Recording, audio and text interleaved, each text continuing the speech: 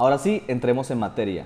AdWords es la plataforma, sistema, programa de Google para ofrecer publicidad patrocinada de pago. Es en AdWords donde crearemos y configuraremos nuestras campañas publicitarias. Google AdWords es 100% efectivo, pero no puede dejarlo solo o en modo automático porque se vuelve costoso y no funciona. Google AdWords cuenta con tres redes. La primera de ellas es la red de búsqueda. Vamos a ver un video de lo que es una red de búsqueda. Cuando nosotros en la caja de búsqueda googleamos tiquetes Medellín Bogotá, nos aparece la red de búsqueda.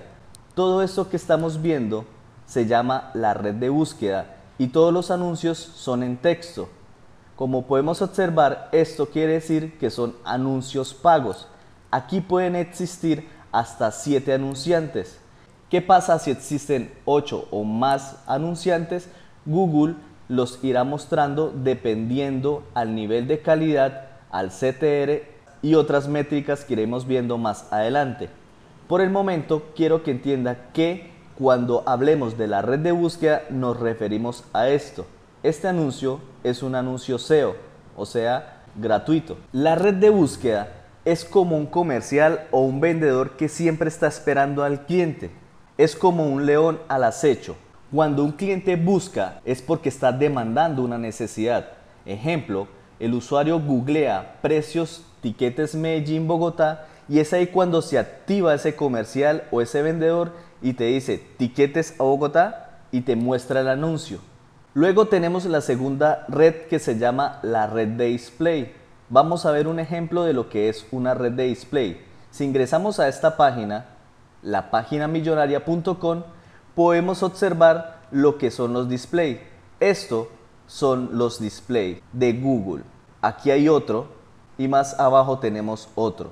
Si recargamos la página, nos mostrará otros tipos de display.